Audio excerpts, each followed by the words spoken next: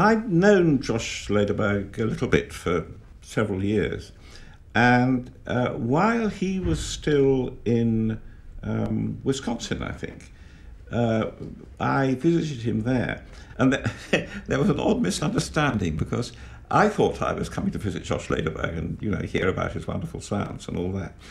Um, and uh, uh the, the, the first morning, they said, "Well, you've got to be there at um, this is the Midwest." He said, "You've got to be there at seven o'clock," and at seven o'clock, the faculty was lined up long down along a table, and it became clear that this was a job interview. I actually wasn't terribly interested in a job in uh, in Wisconsin, much as I was impressed by the university and all this and all that.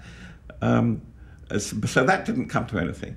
But Josh then became a sort of friend, and he remember he came to Carradale once and and um, uh, made himself very agreeable, which he can do. In fact, I think he's always agreeable, although um, a bit self-centered, I suppose.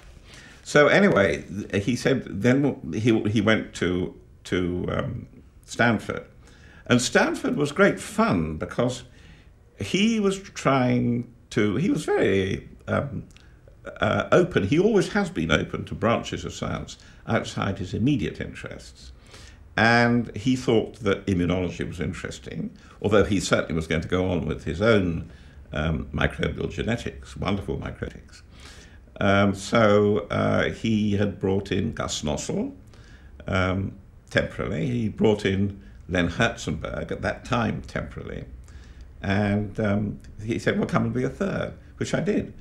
Um, and uh, I uh, asked him if he had any views about what I should do. And he said, no, of course not, no, it's up to you, he said.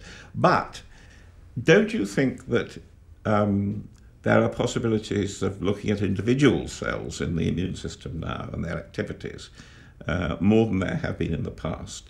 Have you thought about, um, I, and it's, there's a hint of sort of retrospective, I'm not sure he's put it as clearly as this, but he said, what about looking at cells making anti sheep red cell antibodies to see if they would make a plaque?